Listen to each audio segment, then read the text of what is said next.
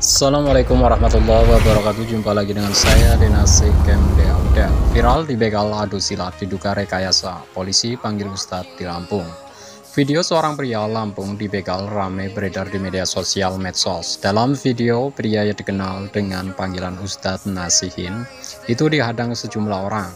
Video tersebut disertai tulisan perjalanan di Lampung Ustadz Nasihin kena begal. Sejumlah orang yang menghadang menggunakan penutup muka Video tersebut ternyata juga diunggah di kanal YouTube Ustadz Nasihin pada 13 Oktober 2021.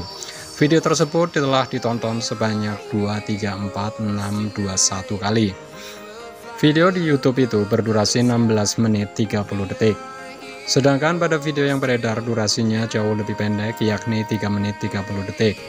Dalam video yang beredar, tampak Nasihin yang menumpangi mobil dihadang sejumlah orang. Nasihin dihampiri sejumlah orang yang meminta uang.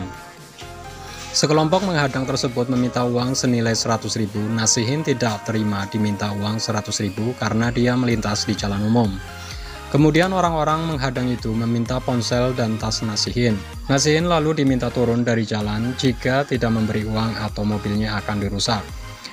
Nasihin lalu turun dari mobil dan terlihat keributan dengan pihak yang menghadangnya. Nasihin menggunakan silat dan membuat lawannya mental, bahkan hingga kaku tak bergerak.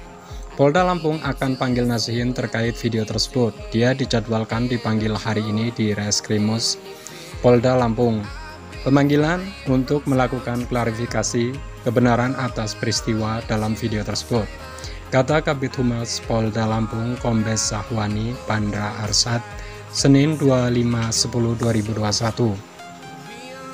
Polisi ingin meminta konfirmasi terkait video yang viral tersebut. Polisi memanggil Nasin sebagai upaya menjaga keamanan dan ketertiban masyarakat. Bahwasanya dengan video tersebut bukan mendidik melainkan penuh rekayasa yang membuat citra Lampung menyeramkan dan merugikan masyarakat Lampung pada umumnya.